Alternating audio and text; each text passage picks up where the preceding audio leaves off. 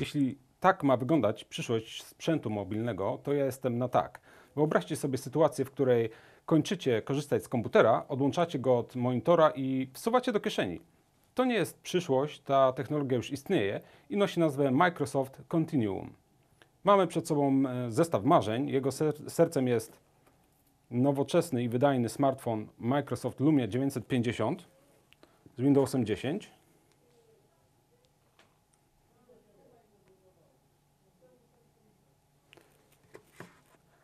Drugim elementem jest mała centralka z portami USB, HDMI, DisplayPort do podłączenia monitora, myszki oraz klawiatury.